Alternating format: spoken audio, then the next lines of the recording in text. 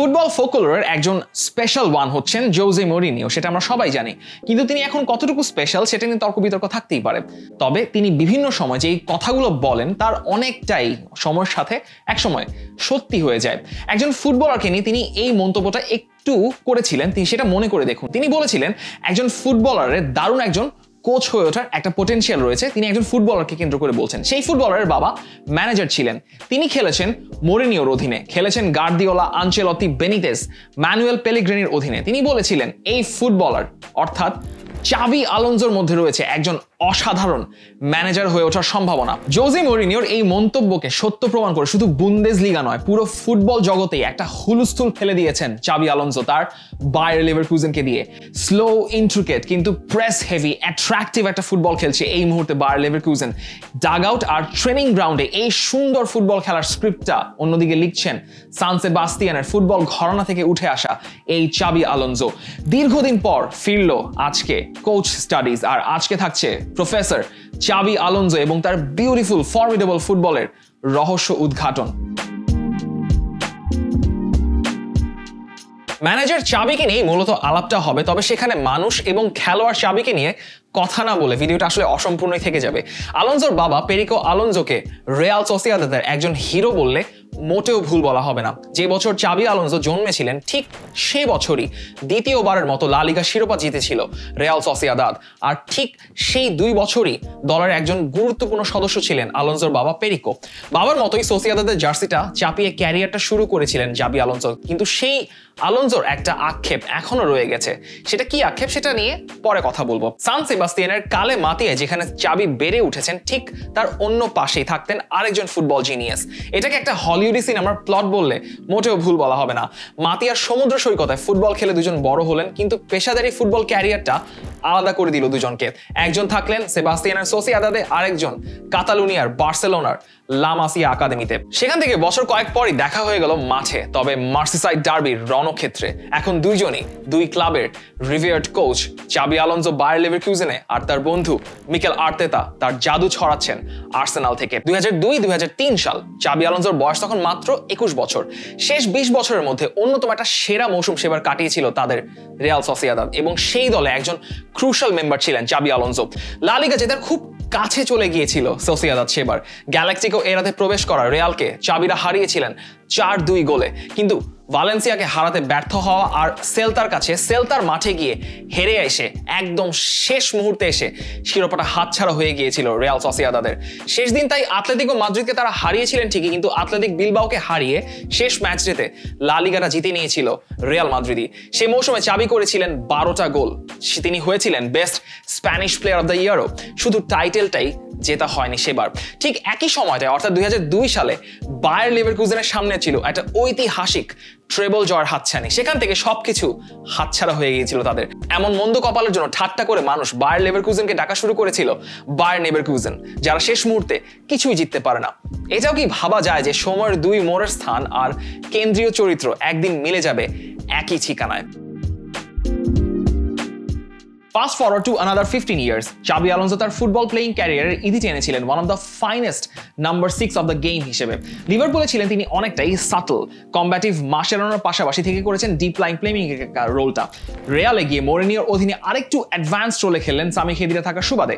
তবে ক্যারিয়ারে একটা ভাইটাল সিদ্ধান্ত নিয়েছিলেন তিনি বায়ার্ন মিউনিকে গিয়ে। কেননা, তিনি পেপ গার্দিওলার সিক্রেট উদ্ধারের জন্য ছিলেন একদমই মরিয়া। দি অ্যাথলেটিককে দুই হাজার উনিশ সালে দেওয়া বিস্তারিত একটা সাক্ষাৎকার তিনি বলেছিলেন, পেপের সঙ্গে কাজ করে তিনি রীতিমতো এক অন্য জগতের সন্ধান পেয়েছিলেন।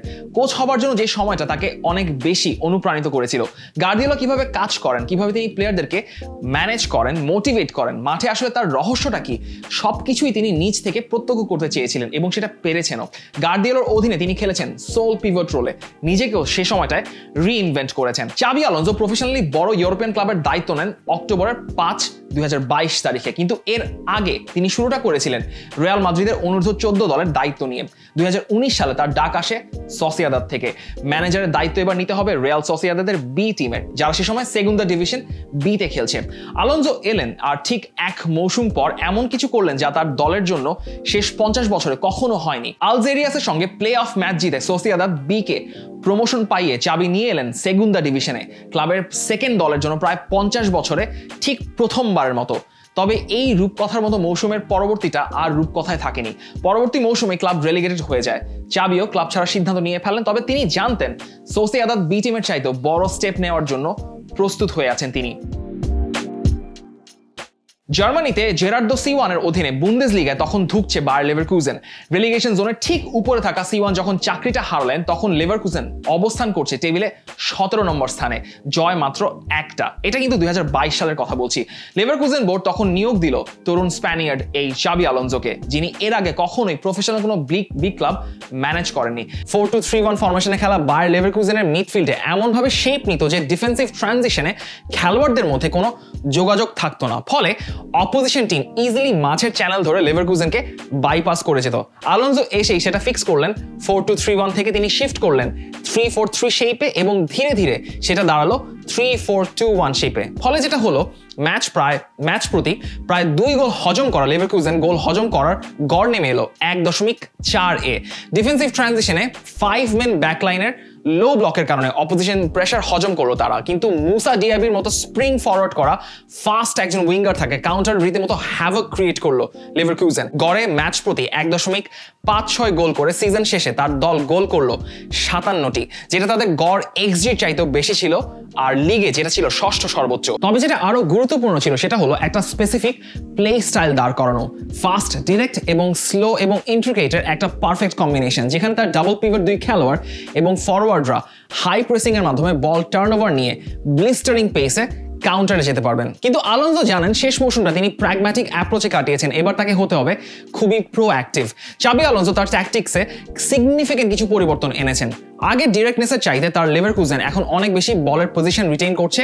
পাসিং সিকোয়েন্সে তারা এখন আগের চাইতে অনেক স্থির এবং মেটিকুলাস দি অপটা অ্যানালিস্টের ওয়েবসাইটে লেভার কুজেনের প্লেইং স্টাইলের পরিবর্তন বেশ ভালো মতো খেয়াল করা যাবে। অপটা অ্যানালিস্টের ওয়েবসাইটে বার লেভার কুজেন এই মুহূর্তে জার্মান বুন্দিজ লিগা কেমন করছে তার একটা সিনারিও কিন্তু দেখা যাবে। যদি আমরা ওপেন প্লে মোস্ট শর্টসের রেশিওটা দেখি, বর্তমান এই চার্ট অনুযায়ী ওপেন প্লে মোস্ট শর্টসে এখন পর্যন্ত শীর্ষে আছে বায়ার লেভারকুজেন একাশিটা শট বায়ার মিউনিখ একাশিটা শট নিয়ে উপরে আছে, তবে এক্সজি রেট কাউন্ট করলে এক্সজি রেটেও কিন্তু লেভারকুজেন সেকেন্ডে আছে। বায়ার লেভারকুজেন তাদের স্টাইলটা চেঞ্জ করেছে চাবি আলোচো তার স্টাইলটা চেঞ্জ করেছে, সেটা টের পাওয়া যাবে এই মেট্রিকে অর্থাৎ এখানে যেটা মেট্রিক দেখা যাচ্ছে, এই এক্স বরাবর হচ্ছে স্লো অ্যান্ড ইন্ট্রিকেট খুবই ধীর সুস্থে পাস দিয়ে খেলার যেই টিমগুলো খেলে থাকে, সেটা এক্স এক্স অ্যাক্সেস আছে এবং ওয়াই অ্যাক্সেসে যারা আছে, তারা মোটামুটি ডিরেক্ট ফাস্ট এবং খুবই ডিরেক্ট ফুটবল খেলে থাকে, সেটার একটা চার্ট। এই চার্টে গত মৌসুমে চাবি আলনজোর বায়ার লেভারকুসেন ঠিক এই একটা জায়গায় অবস্থান করছিল, মাঝামাঝি থেকে একটু উপরে। সেই জায়গায় এই মৌসুমে চাবি আলনজোর, বায়ার লেভারকুসেন ঠিক এই জায়গায় অবস্থান করছে, অর্থাৎ স্লো অ্যান্ড ইন্ট্রিগেটেড একদম চার্টের শেষ মাথায়। আর লেভারকুসেন এবার যেভাবে ধীরে সুস্থে খেলছে, আরও বেশি পাসিং সিকোয়েন্স বিল্ড আপ করে খেলছে, সেটাই এই চার্টে দেখা যাচ্ছে যে তারা অনেক এক্স অ্যাক্সেসে অনেক বেশি সামনে আছে। যদি এই চার্টটা দেখা যায় যে এক্সপেক্টেড গোলস এগেনস্ট যে তারা কতগুলো গোলের সুযোগ ফেস করছে, সেটা যদি একটু দেখা যায়, সেখানে তারা সেকেন্ড পজিশনে আছে। তাদের ওপেন প্লে থেকে তারা শর্ট ফেস করেছে মাত্র পঁয়ত্রিশটি এবং তাদের এক্সপেক্টেড গোলস এগেনস্ট মাত্র তিন দশমিক দুই সাত। তারা যে ধীরে সুস্থে খেলছে, সেটা কতটা ধীরে সুস্থে, সেটা এই চার থেকে টের পাওয়া যাবে। সেটা হচ্ছে যে সিকোয়েন্স টাইমটা কতটুকু, তারা সময় ধরে তারা পাসিং সিকোয়েন্সটা কাজে লাগাচ্ছে। এই পাসিং সিকোয়েন্সের টাইমিংয়ে সবচেয়ে বেশি পাসিং সিকোয়েন্স হচ্ছে বায়ার্ন মিনিকের অর্থাৎ তাদের যে পাসিং সিকোয়েন্সগুলো তারা গড়ে তুলছে, তাদের মধ্যে যে বিল্ড আপ হচ্ছে, সেক্ষেত্রে তেরো দশমিক ছয় ছয় টাইম তেরো দশমিক ছয় ছয় সেকেন্ড তারা পাসিং সিকোয়েন্স বিল্ড আপ করার জন্য সময় নিচ্ছে। তারই ঠিক নিচে বার লেভারকুজেন অবস্থান করছে দ্বিতীয় স্থানে বারো দশমিক পাঁচ তিনে। তবে পাসেস পার সিকোয়েন্স যদি দেখি, সেক্ষেত্রে এখানে টপে আছে বার লেভারকুজেন তাদের পাসের গড় সংখ্যা, একটি সিকোয়েন্সে গড় পাস তারা দিচ্ছে চার দশমিক সাত পাঁচ। আর যদি দশের অধিক পাসিং সিকোয়েন্স দেখা যায়, সেখানেও বায়ার লিভারকুজেন টপে আছে একশো নয় পাসেস পার সিকোয়েন্সে তবে এই চারটা সবচেয়ে ইম্পর্টেন্ট বায়ার লিভারকুজেনের টাইমিং তাদের বলের দখল এবং তাদের তাদের প্লেয়িং স্টাইলটা বোঝানোর জন্য যেই জায়গাগুলো ব্লু হিসেবে মার্ক করা রয়েছে, সেই ব্লু জোনগুলোতে বিশেষ করে মিডফিল্ড এই যেখানে বক্সটা তারা ডিকটেট করে, সেই মিডফিল্ড বক্সের জায়গাটায় তাদের বল পজিশন এবং জোনাল দখলটা সবচেয়ে বেশি। সামনে ঠিক বক্সের বাইরে অংশটি গ্রে অর্থাৎ গ্রে অর্থাৎ হচ্ছে এই জায়গাগুলোতে বলটা কন্টেস্ট করা হচ্ছে। রেড জোনগুলোতে বলের কন্টেস্ট মূলত করা হয় অপোজিশন হাফ থেকে, অর্থাৎ অপোজিশনের বলের দখলটা এখানে বেশি থাকে। যেহেতু এখানে শর্ট এন্ডিং সিকোয়েন্সটা বেশি হয়, তাই স্বাভাবিকভাবেই অন্য দলের এখানে বলের দখলটা বেশি। তবে মূল যে জায়গাটা, অর্থাৎ মিডফিল্ড বক্সের জায়গাটায় বার লেভেল কুজেন এবার এই মৌসুমে বলটা ডিকটেট করছে। জোনস অফ কন্ট্রোল থেকে যদি আমরা একটু হাই টার্ন ওভার এবং পিপিডি অর্থাৎ পাসেস পার ডিফেন্সিভ অ্যাকশনটা একটু খেয়াল করি। পাসেস পার ডিফেন্সিভ অ্যাকশনে বার লেভেল কুজেন কিন্তু বেশ নিচে অবস্থান করছে। তারা এই মুহূর্তে মিডের মাঝামাঝি অবস্থান করছে। তাদের পাসেস পার ডিফেন্সিভ অ্যাকশন আছে চোদ্দ দশমিক ছয়ে, যেটা কিনা গত মৌসুমে তারা ছিল সেকেন্ড পজিশনে অর্থাৎ পাসেস বা ডিফেন্সিভ অ্যাকশনে তারা অনেক কম পাসের বিনিময়ে তারা বলটা দখলের চেষ্টা করছিল। এবার তারা খুবই ধীরে সুস্থে খেলার চেষ্টা করছে। তবে তারপরেও হাই টার্ন ওভারে যদি আমরা দেখি হাই টার্ন ওভারে বার লেভারকুসেন সাতান্ন সাতান্ন হাই টার্ন ওভার তারা পেয়েছে। তাদের পাসেস পার ডিফেন্সের অ্যাকশনটা লো হলেও তারা সাতান্ন বার সেখান থেকে তারা বলটা দখল করতে পেরেছে এবং সেইখান থেকে তারা শট নিয়েছে মোট দশটা, যেটা এই পর্যন্ত বুন্দেসলিগা এখন পর্যন্ত সবচেয়ে বেশি। Now the question to be asked why all this change of tactics while the previous one was actually working সেটা বোঝার জন্য কোচ আলোনজোর ব্যক্তিত্ব কেমন সেটাও একটু বোঝা দরকার। একজন নাম্বার সিক্স হিসেবে তিনি যতটা কুল কাম এবং ফ্লেয়ার এক্সুবারেট করতেন কোচ হিসেবে তিনি মোটেও অ্যাবস্ট্রাক্ট নন। অর্থাৎ তিনি তার মন্তব্য, তিনি যা ভাবছেন, তিনি সেটা প্রকাশ করেন। তিনি খেলোয়াড়দের কাছ থেকে যা চান, সেটা না পেলে স্পষ্ট সেটা ট্রেনিং গ্রাউন্ডেই জানিয়ে দেন। ট্রেনিং ড্রিলের সময় তিনি ইনস্ট্রাকশন দেন জার্মান, ইংরেজি এবং স্প্যানিশ ভাষায়। তিনি ভাষার পরিবর্তনটা করেন সময় এবং খেলোয়াড় বুঝে। পুরো স্কোয়াডের বিশ থেকে পঁচিশ জন প্লেয়ারদেরকে তিনি চান, তারা যেন বিদ্যুৎ গতির চাইতেও দ্রুততম সিদ্ধান্ত নিতে পারেন এবং যেই অ্যাকশনই তারা নেবেন, সেটা যেন কনসিস্টেন্টলি পুল অফ করতে পারেন। তিনি ইতিমধ্যেই একজন কিংবদন্তি হয়ে গেছেন। কিন্তু আলোনজো মনে করেন এখনও প্রতিদিন তাকে প্রমাণ করতে হবে। তিনি যা এর মধ্যে করে ফেলেছেন, তার জন্য মানুষ তাকে মনে রাখুক, এমনটা তিনি এখন কখনোই চান না। তিনি বর্তমানে যা করছেন, সেটার জন্যই তিনি সমাদৃত হতে চান। দি অ্যাথলেটিককে তিনি এমনভাবে নিজের কোচিং ফিলসফিটা তুলে ধরেছিলেন। চাবি আলোনজোর এই ফিলসফিটাকে কমপ্লিমেন্ট এবং নতুন প্লে স্টাইলে খেলানোর জন্য টিমটাকে সেভাবে সাজানো হয়েছে ট্রান্সফার উইন্ডোতে। এই বায়ার লেভারকুজেনের বর্তমান টিমটা দেখা যাচ্ছে। এখানে এসেছে নতুন এডিশন গ্রানিট জাকা যার ঝুলিতে অসংখ্য প্রিমিয়ার লিগের ম্যাচ খেলার অভিজ্ঞতা। লেফট উইং ব্যাকে এসেছেন বেনফিকা থেকে আলেক্স গ্রিমালদো যিনি একসময় বড় হয়েছেন বার্সার লা মাসিয়াতে বুন্দেসলিগা ভেটারান ইয়োনাস হফমান এসছেন, যিনি মূলত রাইট হাফ স্পেসে কিংবা উইং ধরে খেলে থাকেন। তার তবে সবচেয়ে ইউনিক এবং ব্লক বাস্টার ইনক্লুশন সম্ভবত ইউনিয়ন সা জিলোয়া থেকে আসা Nigerian number nine Victor Boniface মাত্র বিশ মিলিয়ন ইউরোতে এমন ফরওয়ার্ড পাওয়া তো ট্রান্সফার মার্কেটে দিনে দুপুরে ডাকাতির সমান। He is been scoring and assisting goals for fun for Xabi Alonso's team ব্যাকলাইনে Lucas রোদেস্কির সামনে তিনজন industrial centre back Odilon Kossounou Jonathan Tah এবং তাপসোবা কখনো কখনো হেন কাপিয়ে খেলে থাকেন। এই ব্যাকলাইনের সামনে খেলা বিল্ড আপ করার জন্য তাদেরকে যে ইনস্ট্রাকশনটা দেওয়া আছে সেটা হচ্ছে খেলা বিল্ড আপের সময় আগের মৌসুমের চাইতে আরও পাঁচ মিটার সামনে থেকে, অর্থাৎ তারা নর্মালি যেভাবে বিল্ড আপ করেন তার চাইতে আরও বেশি সামনে থেকে তাদেরকে বিল্ড আপ করার অনুমতি দেওয়া আছে বা ইনস্ট্রাকশন দেওয়া আছে। অন্যদিকে গ্রানিট শাকার সঙ্গে আরেক পিভেট রোলে আছেন আর্জেন্টাইন ইজিকেল প্যালাসিওস তিনি নর্মালি শুরু করে থাকেন কিংবা তার জায়গায় রবার্ট আইনরিক জার্মান প্লেয়ার তিনিও একজন ভার্সেটাইল প্লেয়ার তিনিও কখনো কখনো ম্যাচটা শুরু করে থাকেন। তবে এই ডাবল পিভেট রোল এবং ডাবল পিভট রোলের মধ্যে শাকা তার আগের যে box to ball role role ছিল আর্সেনালে, সেটা ছেড়ে এখন তিনি ডিপ লাইং নাম্বার সিক্স এর রোলটা বেশি পালন করছেন। ফলে তা আর তাপসোবা কিংবা কৌসনোর সঙ্গে তিনি কিছুটা নিচে নেমে খেলাটা বিল্ড আপ করেন। যখন বিল্ড আপ ফেজে থাকেন, তখন জাকা কিছুটা নিচে নেমে এসে তিনি খেলাটা বিল্ড আপ করেন এবং প্রোগ্রেসিভ পাস দিয়ে তিনি খেলাটা সামনে বিল্ড আপ করে থাকেন। Three four two one build up ফেজে লেভারকুসেন সবসময় দুই উইং ব্যাক মাঠের উইথটা মেনটেন করেন। অর্থাৎ গ্রিমালদো এবং ফ্রিমপং তারা খুবই খুবই একটা উইড মেনটেন করে তারা এমন জায়গায় অবস্থান করে। এমনও দেখা গেছে যে ফ্রিমপং এতটাই দূরে অবস্থান করছেন, এতটাই উইথতে অবস্থান করছেন যে টেলিভিশন স্ক্রিনে আপনার তাকে চোখেই পড়বে না বিল্ড আপ ফেজের সময়। And then there is their forward line যেখানে পুরো খেলাটা ডিকটেট হয় তাদের ছোট জাদুকর ফ্লোরিয়ান ভার্ডসের পজিশনের মাধ্যমে। তিনি লেফট হাফ স্পেসে শুরু করেন ঠিক, কিন্তু তিনি লেফট হাফ স্পেস থেকে তিনি সেন্ট্রালি অনেকটাই নিচে নেমে আসেন। ফলে যে ঘটনাটা ঘটে ইয়োনাস হফম্যানও কিছুটা নেমে এসে একটা ফোর ম্যান বক্স ক্রিয়েট করা হয়। ফলে সামনে একটা একর্স অফ স্পেস ক্রিয়েট হয় ফলে উইং ব্যাক গ্রিমালদো এবং ফ্রেমপং এবং বনেফেসও মুভ ফরওয়ার্ড করার সুযোগ পান, সামনে আরও অ্যাটাকিং অপশন ক্রিয়েট করার সুযোগ পান। এই অল্প বয়সে ভার্স সেই কিলার পাঁচটা খেলতে পারেন, যেটা ডিফেন্স ভেদ করে লেভারকুজেনের জন্য সেই দুর্দান্ত সুযোগগুলো তৈরি করে। লেভারকুজেনের বিল্ড আপের মধ্যে এমন কিছু আলাদা ডাইনামিক্স আছে যেমন প্লেয়ারদের সঙ্গে প্লেয়ারদের সম্পর্ক বা যেটাকে জেমি হ্যামিল্টন বলেছিলেন রিলেশনিজম যেটা ব্রাজিল কোচ ফের্নান্দো দিনিজের বেলা আমরা দেখি, যেটা নিয়ে আমরা আগেও কথা বলেছি একটা ভিডিওতে লিঙ্কে এবং ডেসক্রিপশনে দেওয়া আছে এবং কার্ডেও দেওয়া আছে, চাইলে আপনারা দেখে নিতে পারেন। চাবি আলোনসো ডেফিনেটলি একজন পজিশনাল কোচ কিন্তু তিনি চান তার মাঠের স্পেসিফিক কিছু জোনে তাদের প্লেয়ারদের মধ্যে একটা আন্তঃসম্পর্ক গড়ে উঠুক। যেমন মিডফিল্ড ডায়মন্ড ধরে, অর্থাৎ লিভারকুজেনের খেলার বিল্ড আপ ফেজে এক ধরনের মিডফিল্ড ডায়মন্ড দেখা যায়, সেটা গড়ে ওঠে জাকা প্লাসিওস হফমান ভেডস এবং গ্রিমালদোকে ধরে তারা তাদের মাঝখানে বল সার্কুলেট করার জন্য একটা মিডফিল্ড ডায়মন্ড ক্রিয়েট করেন এবং এই মিডফিল্ড ডায়মন্ডটা ক্রিয়েট করার মাধ্যমে তারা সেন্ট্রালি বল অপোজিশন হাফে বিল্ড আপ করে নিয়ে যান। তখন রাইট রাইট হাফ স্পেস থেকে যেটা বলছিলাম যে হফম্যান তিনি কিছুটা নিচে নেমে আসেন এবং তাদের প্লেয়ারদের মধ্যে একটা এসকাডিনা বা ল্যাডার দেখা যায়, যেমন দেখা যাচ্ছে টা প্লাসিওস হফম্যান এবং ভার্ডস এবং বনিফেস তারা একই সঙ্গে একটা জোনালি ল্যাডার মেনটেন করেন, যার ফলে অপোজিশন বিল্ড করে তারা বলটাকে বিল্ড আপ করে সামনে নিতে পারেন। অপোজিশন যদি বার লেভেল কুজিনকে প্রেস করা শুরু করে, যদি এমন সিনারিও হয় যে অপোজিশন ফরওয়ার্ড তারা লেভার কুজিনে তিনজন সেন্টার ব্যাককে পুশ করা শুরু করছে, সেক্ষেত্রে শাকা তিনি কিছুটা নিচে নেমে এসে সেই প্রেসটাকে বাইপাস করার সুযোগ করে দেন এবং সেক্ষেত্রে প্যালাসিওস তিনি কিছুটা অ্যাডভান্স রোল প্লে করে তিনি শাখাকে কমপ্লিমেন্ট করেন। ঠিক তেমনি যখন তাপসোবা ধরুন তাপসোবা যদি তিনি অপোজিশন হাফ থেকে বলটা তিনি কেড়ে নিতে চান, অর্থাৎ তিনি ইন্টারসেপ্ট করতে চান, সেক্ষেত্রে গ্রিমালদো তিনি কিছুটা নিচে নেমে এসে তিনি তাপসোবাকে তিনি কমপ্লিমেন্ট করেন। রাইট হ্যান্ড সাইডে ফ্রিম্পং যখন বার্স ফরওয়ার্ড করে উপরে উঠে যান, অর্থাৎ ফ্রিম্পং যখন একটা বার্সিং রান নেন, সেক্ষেত্রে হফমান তিনি কিছুটা নিচে নেমে এসে তার জায়গা থেকে জোন থেকে তিনি বরং ফ্রিম্পংকে তিনি ব্যাকআপটা দেন। কিংবা লেফট সাইড মিডফিল্ড ডায়মন্ডটা ওভারলোড করে এগোনোর জন্য তিনি যখন প্রয়োজন হবে যে লেফট সাইডে মিডফিল্ড ডায়মন্ডটাকে ওভারলোড করা, সেক্ষেত্রে হফমান তিনি আবার ভেটসের সঙ্গে অবস্থান করেন। ফলে বনি ফেস তিনি লেফট হাফ স্পেস থেকে তিনি সেন্ট্রালি একটা কাট ইনসাইড রান নেওয়ার সুযোগ পান। এভাবে করে বিল্ড আপ এবং অ্যাটাকিং কম্বিনেশনের মাধ্যমে অপোজিশনকে ডমিনেট করার অসংখ্য অপশন কিন্তু চাবি আলোনজোর কাছে আছে।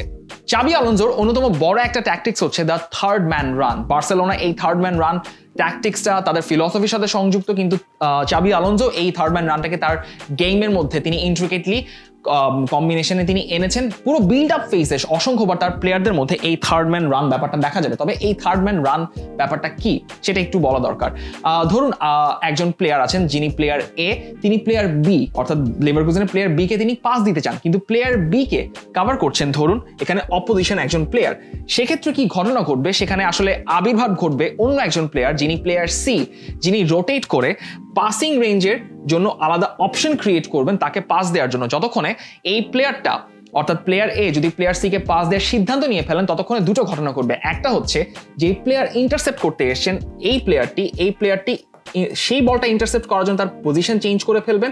এবং ঘটনা নাম্বার দুই, যে প্লেয়ার বি যে, যিনি ওই অপোজিশন প্লেয়ারের কাভারে ছিলেন, তিনি যেহেতু তাকে কভারটা ছেড়ে দেওয়া হয়েছে, তিনি তখন তার পজিশন চেঞ্জ করে তিনি অন্য একটা অ্যাঙ্গেলে যাওয়ার সুযোগ পাবেন এবং ততক্ষণে প্লেয়ার সি বলটা রিসিভ করে প্লেয়ার বিকে পাস দেওয়ার জন্য একটা সুযোগ পাবেন। অর্থাৎ এই প্লেয়ার সি থেকে প্লেয়ার বি তে পাস যাওয়াটা প্লেয়ার এ থেকে এসে এটাই হচ্ছে মূলত থার্ড ম্যান রানার একটা বেসিক প্রিন্সিপাল যেমন এই ধরনের কেসে লিভারকুজেনের প্লেয়াররা নিজেদের দিকে প্রেশার ইনভাইট করে। অর্থাৎ থার্ড ম্যান পাসটা দেওয়ার জন্য আসলে প্রেশার ইনভাইট করাটা খুবই জরুরি। যেমন যেই সিনারিওটা কথা বলছিলাম যে শাকা এই ক্ষেত্রে তিনি তিনি হচ্ছেন জোনাথন টাকে বিল্ড আপ ফেজে তিনি একটা লুজ পাস দিবেন। এই লুজ পাস দেওয়ার অর্থ হচ্ছে যে অপোজিশন প্লেয়াররা যারা আছে, তারা তাদের পজিশন থেকে বের হয়ে এসে তারা বার লেভারকুসেনের প্লেয়ারদেরকে প্রেস করার চেষ্টা করবে। এখানে শাখা কিন্তু তিনি এই অপোজিশন প্লেয়ারের কাভারে পড়ে গেছেন। তার কাছে এখন অপশন নেই শাখাকে পাস করার জন্য। সেক্ষেত্রে প্লাসিওস যিনি যিনি যেটা করবেন, তিনি তার পজিশন থেকে বের হয়ে এসে তিনি একটা পাসিং অ্যাঙ্গেল ক্রিয়েট করার চেষ্টা করবেন জোনাথন টার সাথে। জোনাথন টা তিনি পাস দিবেন পালাসিওসকে পালাসিওসকে পাস দেওয়ার সাথে সাথেই কিন্তু আরেকটা প্রেস ট্রিগার করবে ততক্ষণে এই প্লেয়ার যতক্ষণ প্লাসিওসকে তারা তারা যতক্ষণ প্রেস করার চেষ্টা করবে ততক্ষণে প্লাসিওস তিনি উল্টো ঘুরে শাকাকে যেমন তিনি পাস দেওয়ার একটা সুযোগ পাবেন, তেমনি শাকা এই পাসটা পেয়ে তিনি হফমান কিংবা বনিফেসকে তিনি একটা প্রোগ্রেসিভ পাস দেওয়ার কিন্তু সুযোগ পেয়ে যাবেন। অর্থাৎ এই থার্ড ম্যান রানের ফলে কিন্তু আসলে যখন একটা বিল্ড আপ ফেজ তৈরি হচ্ছে, এই বিল্ড আপ ফেজের অংশ থেকে থার্ড ম্যানকে পাস দিয়ে একটা different kind of attack attacking opportunity তৈরি করা সম্ভব। এই থার্ড ম্যান রানের সব ধরনের ভালো ভালো কম্বিনেশন কিন্তু লেভারকুজেন তাদের পিচে করে থাকে, যেমন শাকা টা এবং পালাসিওসের মধ্যে যেরকম একটা থার্ড ম্যান কম্বিনেশন দেখা যায়, তেমনি শাকা ভেটস গ্রিমালদের মধ্যে একটা থার্ড ম্যান কম্বিনেশন রান দেখা যায়। শাকা ভেডস এবং হফম্যানের মধ্যে একটা থার্ড ম্যান কম্বিনেশন রান দেখা যায়। এই ধরনের থার্ড ম্যান কম্বিনেশন রান করে করে কিন্তু ভালো একটা অ্যাটাকিং ট্রানজিশনে লেভারকুজেন অনেক ডেডলি কিছু অ্যাটাক ক্রিয়েট করতে পারে অপোজিশন বক্সে চাবি আলোনজো অ্যাটাকিং ফেজে যতটা ইফেক্টিভ ডিফেন্সিভ শেপেও ততটাই প্রফিশিয়েন্ট ডিফেন্সিভ ট্রানজিশনে তার দল সাধারণত ফাইভ থ্রি টু কিংবা ফাইভ ফাইভ থ্রি টু কিংবা ফাইভ ওয়ান ওয়ান একটা শেপে চলে আসে। এ তাদেরকে খুবই ন্যারোলি একটা একটা স্পেস ডিফেন্ড করতে তারা সাধারণত ওয়াইড জায়গাটা ছেড়ে দেয়। পজিশন কোনো ধরনের সেন্ট্রাল স্পেস পায় না। অর্থাৎ এই সেন্ট্রাল স্পেস পুরোটা স্কুইজ করে ধরে রাখে লেভারকুজেনের প্লেয়াররা অপোজিশন প্লেয়ারকে ওয়াইড অ্যাঙ্গেল থেকে ওয়াইড চ্যানেল থেকে তাদেরকে প্রেশার ক্রিয়েট করতে হয়। কিন্তু যেহেতু এই জায়গা অনেক ন্যারোলি সেন্ট্রাল স্পেসটা বদ্ধ করা থাকে, সেক্ষেত্রে তারা কোনো ধরনের সুবিধা করতে পারে না গোলে অপরচুনিটি ক্রিয়েট করার জন্য। আবার যদি এরকম সিচুয়েশনে অপোজিশন বল লুজ করে ফেলে, যদি জনথন টা কোসিনো কিংবা শাকা বল পজিশন তারা ইন্টারসেপ্ট করে, দখল করে ফেলেন, সেক্ষেত্রে কিন্তু লেবার কুজেন তাদের কাউন্টার অ্যাটাকিং স্পিডটা কাজে লাগাতে পারে। বনিফেস ভার্স যেহেতু খুবই অ্যাডভান্স পজিশনে অবস্থান করেন, অন্যদিকে ফ্রিমপঙ্গ খুবই ওয়াইড জায়গায় অবস্থান করেন, সেক্ষেত্রে শাকা কিংবা কৌশলতে একটা প্রোগ্রেসিভ পাস খেলে বনিফেস ভার্ডস এবং ফ্রিমপংকে সামনে বার্স্ট ফরওয়ার্ড করে আক্রমণের সুযোগ করে দেন। চাবি আলোনজো তার সমৃদ্ধ ফুটবল ফিলসফি দিয়ে এই মুহূর্তে ইউরোপের সবচাইতে এক্সাইটিং ফুটবলটা অফার করছেন। এটা বললে মোটেও ভুল হবে না যে এই মৌসুমের পর বড় কোনো ক্লাবই চাবি আলোনজোকে পাকড়াও করে নিয়ে যাবে। রিয়াল মাদ্রিদ নাকি স্প্যানিশ ন্যাশনাল টিম সেটা সময়ই বলবে। হয়তো এই অসাধারণ লেভারকুজেন টিমটাও ভেঙে যাবে বিগ মানি ক্লাবের ট্রান্সফারের কারণে। তবে শাবি আলonsoর লেগাসির শুরুটা বোধহয় আমরা দেখা শুরু করেছি এই এক্সাইটিং লিভারকুজেন টিমের মাধ্যমে। কিন্তু চাবি আলonsoর আক্ষেপটা আরও হয়তো দীর্ঘায়িত হবে। তিনি যে আক্ষেপটা রেখে গিয়েছিলেন, যখন তিনি সোসিয়াদাদের হয়ে লিগ শিরোপা জিততে পারেননি। সোসিয়াদাদের হয়ে কোনো ট্রফি জিততে না পারার এই আক্ষেপটা যিনি অ্যাথলেটিককে দেওয়া সাক্ষাৎকারে তিনি বলেছিলেন, হয়তো কে জানে? সেন্ট সেবাস্টিয়ানের আলোনজো একদিন সবকিছু জিতে হয়তো আক্ষেপটা মেটাতে চলে আসবেন সসিয়াদাদে তবে সে পর্যন্ত উপভোগ করতে থাকুন the professor Xabi আলনজোর beautiful brand of football football নিয়ে আরও কি কন্টেন্ট দেখতে চান জানাতে পারেন আমাদেরকে। শাবি আলনজোর বায়ার লেভেল ক্রুজেন এবং তার ট্যাকটিক্স নিয়ে আপনার কি মন্তব্য? তার ফুটবল কেমন লাগছে আপনাদের সেটাও জানাতে পারেন আমাদের কমেন্ট সেকশনে যে কোনো মুহূর্তে যে কোনো সময়ের কন্টেন্ট দেখতে ভিজিট করুন প্রথম ডট কম এবং একই সাথে ফলো করে রাখুন প্রথম ফেসবুক পেজ সাবস্ক্রাইব করুন প্রথম ইউটিউব চ্যানেল থাকুন ভালোর সাথে, আলোর পথে।